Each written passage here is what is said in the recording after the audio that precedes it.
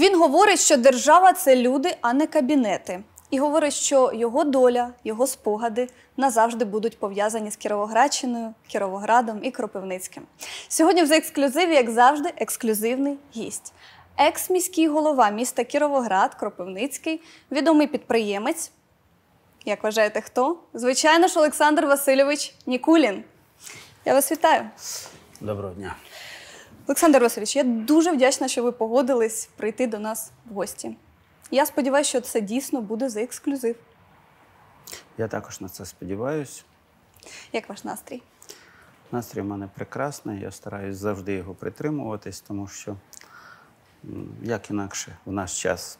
Якщо, якщо брати так стороннім оком дивитися на нашу країну, то, на жаль, не так багато у нас хороших речей, не так багато позитива. Тому треба загалом підтримувати внутрі себе прекрасний настрій, і ти будеш щасливий. Олександр Васильович, знаєте, дуже багато людей, принаймні, коли я готувала інтерв'ю, я з багатьма спілкувалася, які були дотичні до вашого життя в Кіровограді. Вони дуже вдячні вам і вас згадують досить таки часто. Ви часто буваєте загалом там? Ну, я думаю, один раз на місяць точно буваю, а так. Якщо раніше там моя теща жила в Кіровограді, то я бував частіше, е, можливо. Але зараз у мене там невеличкі об'єкти є. Між іншим, в Кіровограді зараз ми робимо, е, ремонтуємо скважини на е, південно-західній підстанції. Не підстанції, а котельні. І е, ми там робимо, щоб у людей, тобто у наших тепловиків, була вода для того, щоб в мережі міста залити цю воду і щоб у нас було тепло в місті Кіровоград. Тобто Кіровоград завжди поруч, все одно. Так, Кіровоград завжди поруч. Чим ви зараз займаєтесь в столиці? Е, І загалом? Загалом я вже давно відійшов від е, політики і займаюся основним бізнесом, будівництвом. Я працюю постійно, е, невеличкі, невеличкі об'єми робіт від нашої організації. Є напрямок інтернет-ресурсу, даємо інтернет-послуги, є напрямок там, ремонту будівництва, є напрямок скважини. Ну, таке от е, все. Мене ця робота влаштовує. Е, Якщо стосується політики, то я дотичний до партії наш край, скажімо так. Е, От, я не все знаю. одно до політики, бачите? Ну, ви знаєте, у мене просто так сталося, що е, ну, бувший міський голова Кам'янець-Подольського, а потім е, перший заступник мера Києва Попова, це при Януковичу було. Мазурчак такий Олександр, і це мій такий товариш. Він ж дале- недалеко живе. Ми з ним дуже часто спілкуємося, зустрічаємося, ну, дружимо. І тому оцим боком я до цієї до політики. А він співголова партії наш край. Тому оце таким чином. Ви знаєте, є така приказка: наше життя і є політика, і завжди потрібно обирати якусь сторону. Не можна бути на нейтральній території. От ви одразу сказали свою позицію. Ну, це не зовсім позиція, це швидше хобі. Ви знаєте, я дуже скептично відношусь, відношусь до взагалі до політики, особливо в Україні. Вона надзвичайно брудна, вона така, знаєте, ем, вона дуже і дуже, скажімо так, неправильна. Олександр Васильович, а де ви народились? Народився я в Росії, ну, в місті Верхній Тагіл, Кіровградський район, підкреслюю. Кіровоградський? Там. Кіровград. Кіровград. Місто Кіровград. Ну так чисто случайно так виходить, що чомусь ім'я Кірова завжди йде поруч. Е, Кіровградський район Свердловської області. Ну, зараз Єкатеринбург місто, не знаєте. У два роки мене перевезли в Вінницьку область е, на Україну, і з двох років я фактично живу на Україні. В Вінницькій області я закінчив там школу, все, поступив в університет. Так що Україна і я ну, це ті речі, які, ем, які постійно зі мною. А в е, Кіровоград як потрапили? А в Кіровоград я потрапив з Одеси, закінчив Одеський університет е, зв'язку, зараз академія зв'язку. І потрапив, можна сказати, по розподілу в Кіровоград. І з цього часу я в моє, моє життя зв'язано з Кіровоградом. Тобто це було в 76-му році, далекому. Ви, мабуть, такого року не пам'ятаєте. Е, Ну і е, після цього я в, в Кіровограді.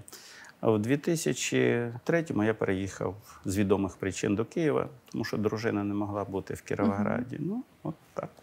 Е, Чим розп... ем, вірніше, на якій посаді розпочинали свою діяльність в Кіровограді, якщо після університету переїхали? Е, Ну, Де працювали? Працював в електромережах. Я по спеціальності радіотехнік і працював в енергомережах, так, так називаємо західне підприємство електричних мереж в Кіровограді було. От. А потім працював в дорожній системі. Е, Був, займав, працював в Укрдорсвязі. Ну, дорожники вже повинні бути зв'язківці. Оце я керував дорожнім зв'язком по всій області. У нас був кіровоградський цех. Е, Наша головна компанія, фірма була в Києві, і я тут працював більшу частину свого ну, такого активного життя. А потім, уже е, десь з 98-го року, як це почались кооперативи, то пішов вже в бізнес. Після цього я працював в бізнесі, ну і один рік працював на державній посаді, чи це був міським головою. Воно мені не сильно сподобалось, і після цього я стараюся туди не йти. Е, Скажімо так, це, навірно, це не моє. Ви згадали за Вінницю, що ви там провели свої дитячі роки. Так. Е, Не Вінниця, а це Вінницька область. Вінницька область. Навчались в школі. Так? да, Там? Вінницька область, Шаргородський район, станція Рахни Лісові. А як згадуєте дитячі роки? Якими батьки були? От що перше спадає на думку? Знаєте, в мене дуже ну, досить складне було дитинство, якщо брати з, і дивитися збоку, але я дуже радий цьому. Так сталося, що коли я переїхав, мені було два роки. І ми переїхали не просто так з Урала, переїхали на Україну. Переїхали в зв'язку з тим, що мій батько хворів туберкульозом. Це було в 56-му році. Це такі були складні часи тоді. Вони були які складні. Туберкульоз просто не, не лікувався. І тому батько буквально через місяця три помер. А у моєї мами було троє діточок, я самий маленький, дві, дві сестри старші, і якось ми жили. Тобто на одну пенсію мамину, скажімо так. Тому у мене дитинство було складне. Ну, це вже як закінчив школу, але я займав гарні місця на олімпіадах, там математичних і таке інше. Е, В області займав колись друге місце на олімпіадах. Старались.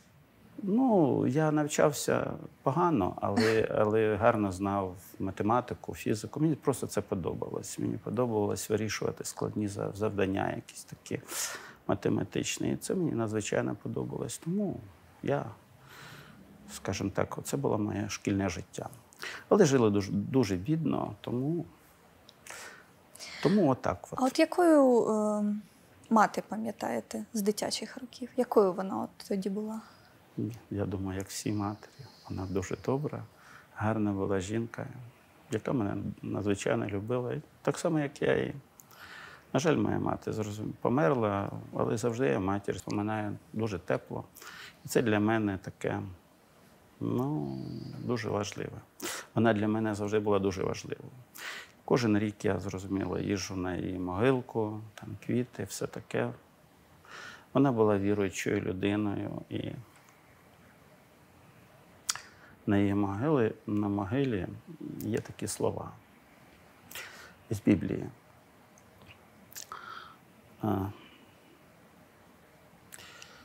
Найголовніше в цьому житті пам'ятати, що ми прийшли в цей світ ні з чим. Ну, скажімо так, голими босими. Да? І з цього світу нічого І не заберемо. І всі наші поступки ну, визначаються цим, що ми не повинні накопичувати собі великі багатства. Вони ні до чого. Саме головне, щоб оцей от, е, проміжок життя ти прожив порядно, нормально і все інше. І я ці слова дуже ну, щиро поважаю і дуже їх люблю. Ну, не те, що поважаю, це мудрість із, Як і мама, із, Бі- думаю. із Біблії, скажімо так. Про життя на Кіровоградщині трішки детальніше. Вас е, обрали міським головою в 90-ті роки. Е, Ну, 98. так, 98-й. Всі кажуть, що це були досить такі складні е, роки. У вас тоді був бізнес. Правильно? Чим ви тоді займалися? Коли я переїхав в Кіровоград, я вже розказував, що Ну. працював в радянські часи. Закінчувалися радянські часи. Я пішов в кооператив, потім був, було товариство Горн, яке я створив. Ну, я був один інвестор, там, ну не інвестор, а акціонер. Угу. І після цього я в Горні працював, і після цього я пішов на посаду міського голови. Виграв досить легко, але я збирався йти в Верховну Раду, але так сталося, що вибори проходили е, одночасно з Верховною Радою до міського голови. Так як я ще й бізнесменом був, була така е, у нас Антоніва бізнесмен, яка займалася Артеміда, розливала горілку там і все інше. І так сталося, що ну, вона була мені должна велику суму грошей. І вона теж балотувалася. Е, до, ну, пішла до Верховної Ради. Але у нас ще один був суперник це Ігор Шаров.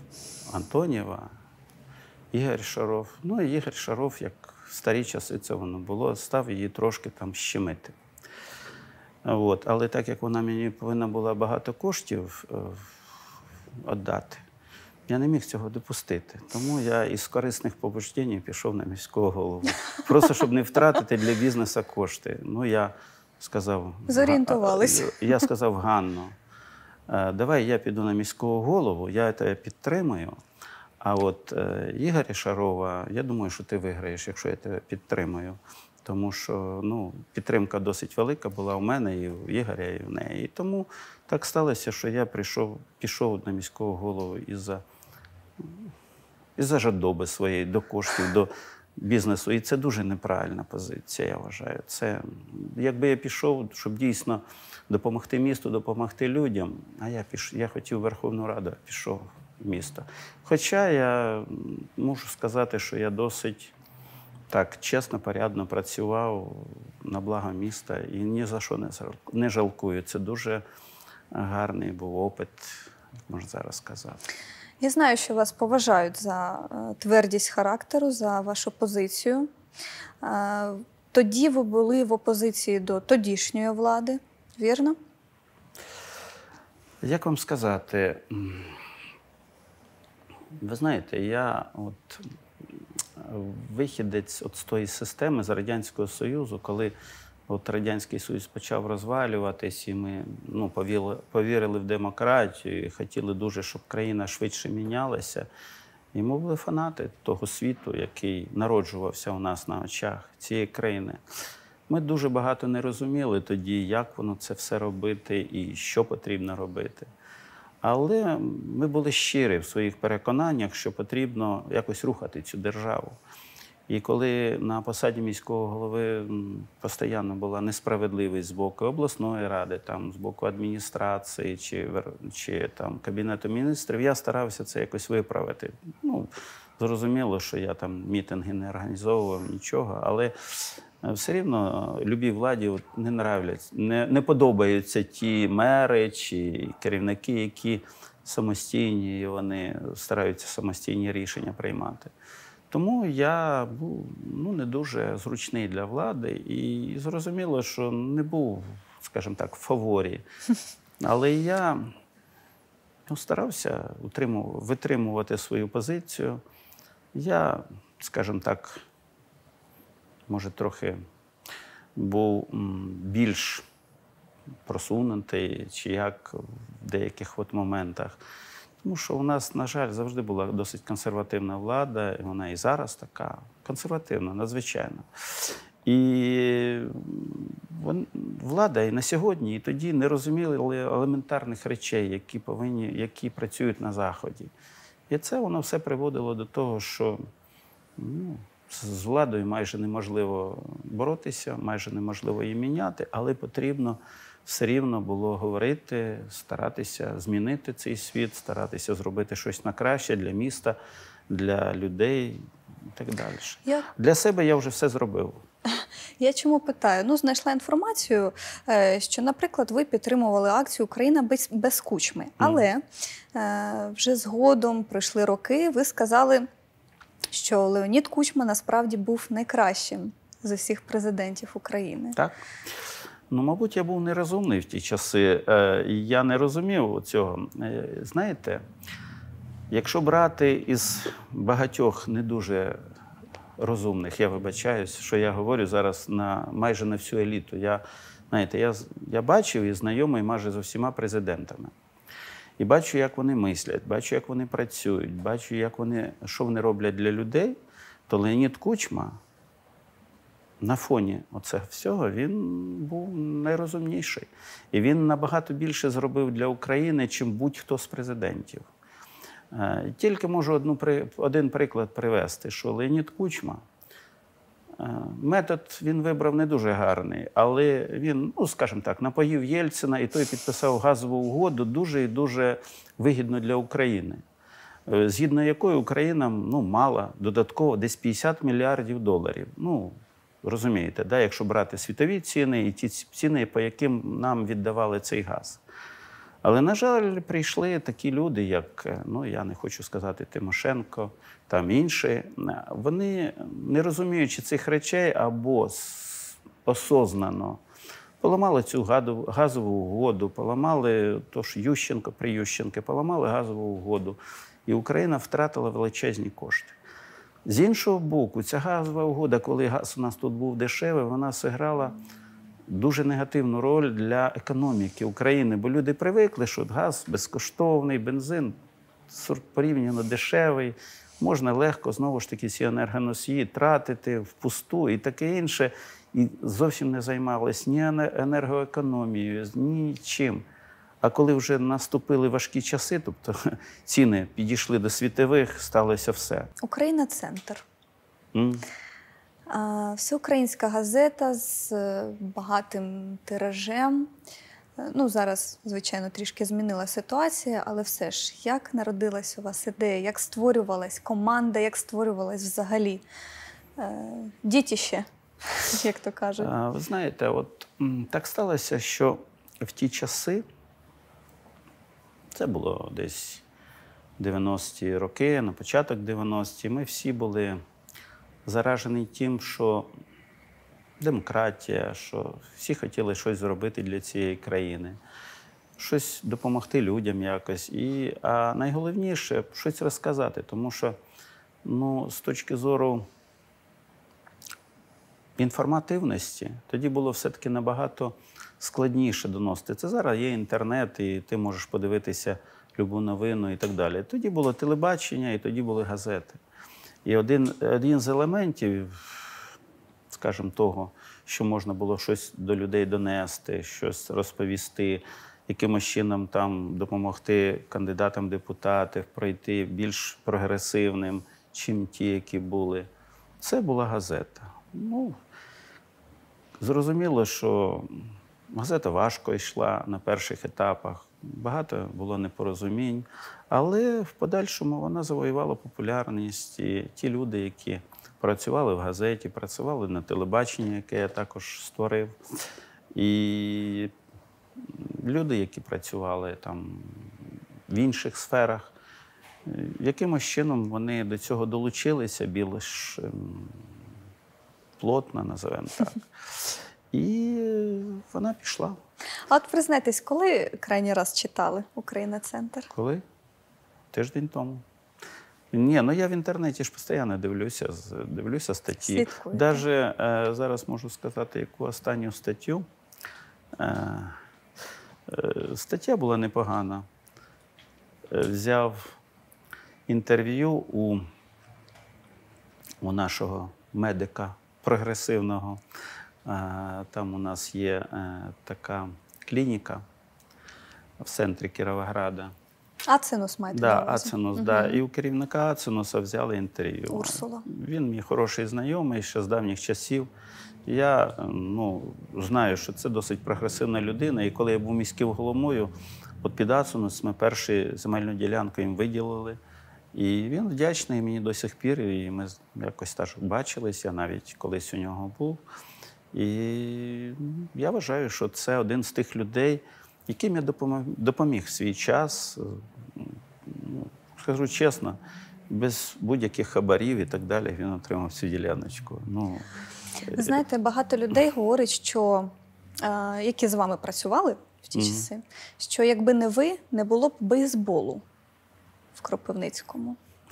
Ну як, він уже, ви знаєте, е, це було теж в старі 90-ті часи. І Так, зараз розвивається. Зараз там ми маємо найсучасніший стадіон, але саме старт дали я можу навіть розповісти, як це було.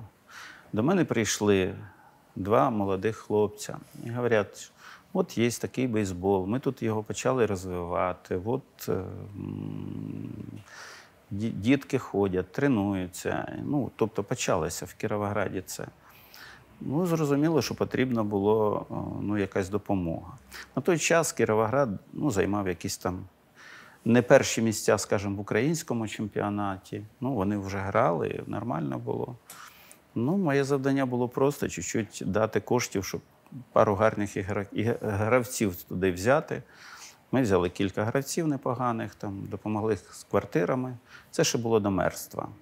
І команда завжди стала чемпіоном, і після цього вона не випускала це чемпіонство вже впродовж цих, цього періоду всього і до сих пір. Ви згодом навіть стали президентом Федерації України А, з так, я був та- згодом президентом. Федерації і, значить, і, і був віце-президентом обраний Європейської Федерації. Ну, це не саме головне. Саме головне, що ми заклали тоді серйозні підвалини цього виду спорту. І слава Богу, що цей вид спорту сьогодні там є. Діти займаються задоволенням, їздять на змагання за кордоном. В Кіровограді він подобається. Він такий, е, скажімо так, це суміш такого спорту з шахматами. Бо там треба мислити, там не просто треба грати, там треба мислити. І це ну, цікава гра, дуже цікава. Вона, я завжди нею цікавився. І потім, коли я пішов з федерації, ну, замість мене прийшов в федерацію Ніколаєнко. Це да, він, я йому вдячний, що він. Але тоді зіграла роль політика. Просто-напросто треба було заступника губернатора, губернатора зробити головою федерації, щоб, щоб можна було більше грошей виділяти на бейсбол. Ну і в принципі я цьому я не заперечував. Всі, всіляко допомагав команді, хоч, хоч тоді, хоч зараз. Так далі. Ви знаєте, що я помітила? От е, незважаючи на той політичний вирій, який є у вашому, був принаймні в вашому житті, підприємництво і так далі, ви завжди підтримували такі творчі проекти. Телебачення, газета, КВН той самий, так, був, бейсбол, без вигоди, тому що це було і до мерства. Чому, от, е, чому у вас така пристрасть? Ви знаєте, от Чи це людяність просто? Що це? Е, Дружина моя називає це, що я трачу кошти на пусте. Але я не думаю, що я трачу кошти на пусте. Дружина говорить: от лучше б ти будинок там побудував, лучше б купив там квартиру в Москві, там квартиру в Будапешті. От. А я от щось такий дурний, щось там щось віддаю гроші туди, туди, туди. В людський потенціал. Ні, це не людський потенціал. Знаєте що? До мене дуже легко приходять гроші і дуже легко уходять. Але я стараюся, щоб в першу чергу ці гроші уходили в людей. Я, мабуть, поганий, ну скажімо, сім'янин, може, чи поганий хазяїн да? відносно своєї дружини, дітей і таке інше. Але я в першу чергу гроші потрачу от на якісь такі проекти. Ну, якщо є можливість така, ніж, допустимо, на себе. Ні на, ну, знаю, мені так подобається. Мені подобаються ці дитячі посмішки. У нас ще було е, дуже великий ну, проєкт. Він не то, що проєкт, а в мене в 91-му році померла, померла мама. Угу.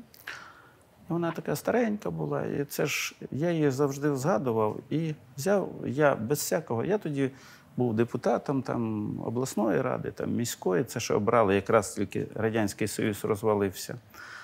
Але думаю, ну працюється бізнесом, ну я кажу, до гроші досить легко приходили до мене, і я абсолютно ними не дорожив. І думаю, та як? Мама померла. Мені ж треба дивлюся, тоді ж такі мізерні пенсії, тоді повний був розвал. То давай я буду зроблю кілька магазинів на своєму мікрорайоні, там на Ковалівці я жив. Я зроблю кілька магазинів, і це будуть е, ну, як допомогу старим людям. Соціальні. Бо, да, соціальні, ну, в честь, може, Мгм. матері своєї. Бо ну, для мене всі бабушки і до сих пір, навірно, ну, якось нагадують мені мою мати, яку я надзвичайно любив. І оце почав допомагати. Оце в мене були ну, не тільки мій мікрорайон, а багато людей тож приходило, ми їх записували, і там кожного там, тиждень видавали там, набори продуктові. Ну, кажуть, сьогодні кажуть гречка. Але це обично сьогодні видають їх перед виборами, а я їх постійно видавав без всяких виборів. От. І оце так, от баб- бабушки мене любили, я їх теж, дідушки. І... Контакт був. Да, і я допомагав бейсболу, я допомагав КВН, я допомагав газеті, я допомагав телебаченню. Я вважав, що я повинен бути ну, такий активний в цьому житті.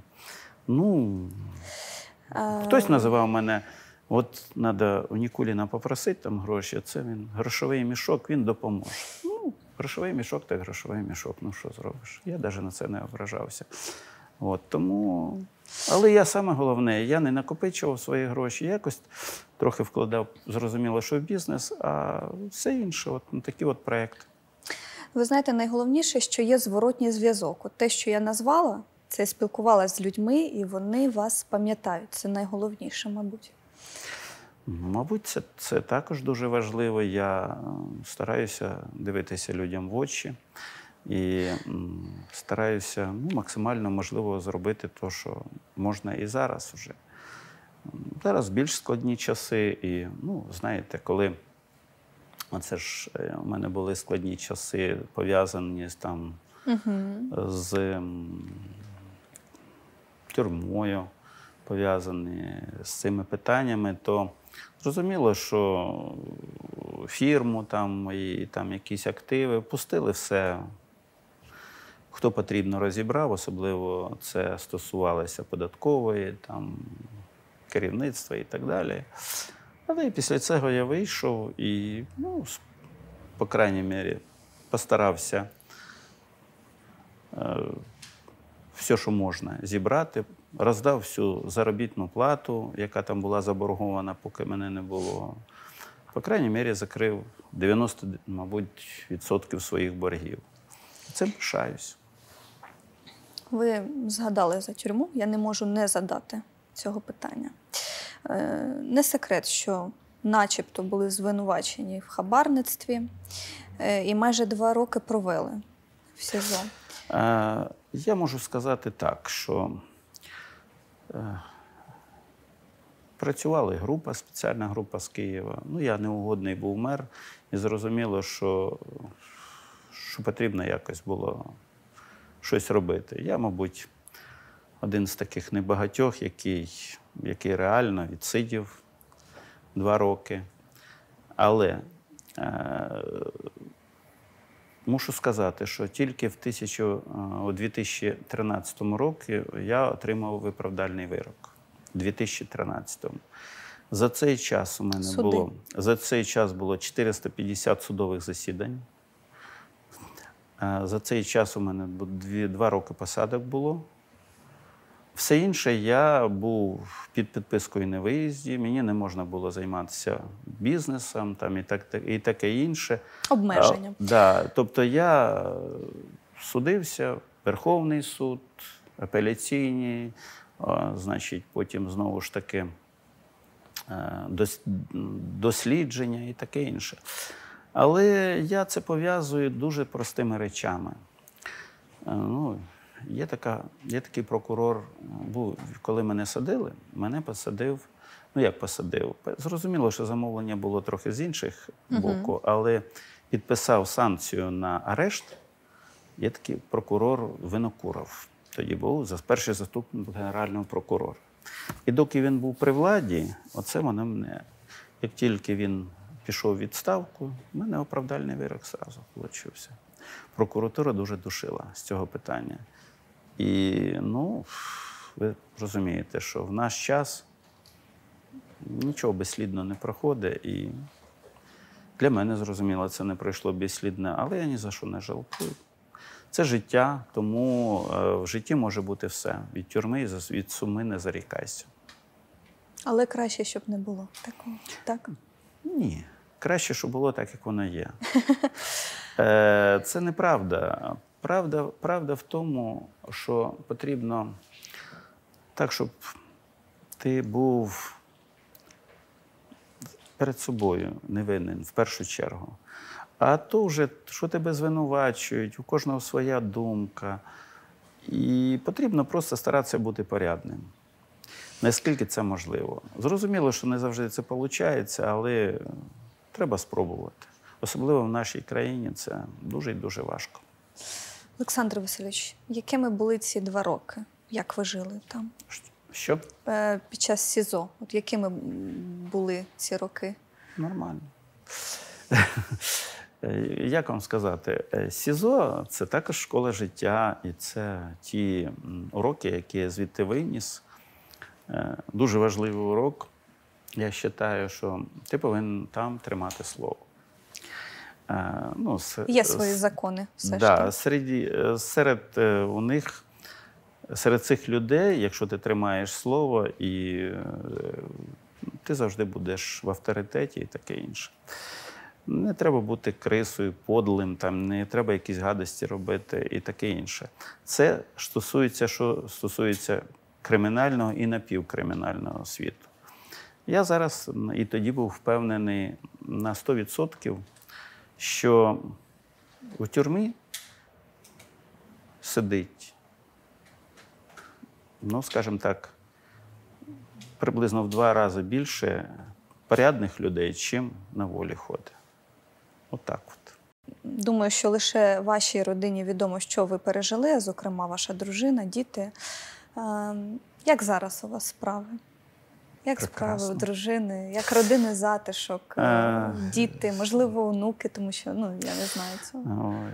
У мене е, двоє діточок. е, От, син і донька. Живу з дружиною тут, в Києві, на бульварі Лесі Українки. Задоволеним своїм життям. Працюю, кожен день ходжу на роботу, якесь, якесь будівництво, щось робимо. Мені подобається. Навіть якась пенсія у мене є невеличка. 5 тисяч. Ну, як вона велика для але так. От, е, я заробляю достатньо коштів для того, щоб непогано жити, подорожувати і за кордон їздити. І все в мене прекрасно. Я не бачу взагалі ніяких проблем, ну, які, які в мене. Я почуваюся себе здоровим абсолютно. У мене дружина прекрасна, на 5 років молодша, але вона теж себе прекрасно почуває. Зараз погано тим, що ми не можемо подорожувати. А так я дуже люблю подорожувати. Зараз ми просто їздимо в Карпати. Карпат. Карпати відпочиваємо там тиждень-два. Ви колись сказали да. найголовніше повітря, так? Да, це інша Карпати. розмова. Це вже з того інтерв'ю, яке на в мене наступну брав. програму. А знаєте, повітря це дійсно найголовніше сьогодні. І саме головне в цій всій історії, що за це повітря, за забруднене повітря, ми, е, ми тратимо на нього все своє здоров'я. Ми від нього помираємо набагато частіше, якби ми жили в чистому повітрі. Але нам держава, ніхто не компенсує ці кошти. Це неправильно зовсім. Тому що е, навіть на, не дають на, я вибачаюсь, на, на те, щоб ми свої легені полікували, чи ще щось, ще щось. Тому що, е, як підрахували британські учені, це Оксфорд, від, е, від того, що люди дихають поганим повітрям, яке вих- від вихлопів, вони помирають е, ну, 26 разів більше, ніж від того, як люди помирають ДТП. Тобто, наскільки дурно впливає оці, оці от речі на нас, на наше здоров'я.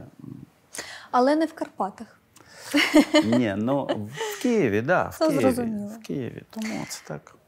Олександр Васильович, Бліц. Готові? Час Конечно. летить швидко. Улюблена марка машини. Тойот. Найголовніший чоловічий жест по відношенню до жінки. Обійняти? Обійняти. От е, я можу трохи добавити, додати. Завжди жінкою ж не можна взагалі спорити, сваритись. З жінкою просто потрібно обійняти. Нічого не говорити, мовчати. І вона зразу все зробить, як ти скажеш. Які основні риси три Угу. справжньої жінки для вас? Характер, емоції. Емоції, характер і доброта. Коли і де ви крайній раз співали наодинці або для когось? Ну, місяць тому вдома співав. Я кожен день співаю. Для себе. Можу гітару взяти, поспівати. І для... Я без пісні взагалі не Любите живу. грати? Не живу, не живу. Любите Ні, ну, грати, да? пісня для мене головне. Одне із головних речей, які. Якщо ти йдеш з піснею по життю, ти щасливий людина. Куди поїдете після інтерв'ю? Додому. Е, Якщо не секрет, коли крайній раз запрошували дружину на побачення? Ми ось ходили в ресторан на День учителя, вона у мене учитель. І на побачення. Ну, це фактично побачення. Ми пішли в ресторан, пообідали. Нормально. Ви щасливі зараз від того, що Абсолютно. ви маєте? А що ви маєте? Все, що потрібно людині. Ну, зараз ще хочу купити е, будиночок десь, переїхати все-таки е, ближче до природи. Ну, це все. І достатньо буде, ну, як е, почнуться, можливість буде подорожувати, буду подорожувати. Ну, я вам бажаю, щоб ці плани найближчим часом здійснились. Дякую, успіху вам. Валентино. Дякую. Я дуже вдячна, що ви завітали. Дякую. Дякуємо вам за те, що ви з нами. До нових зустрічей.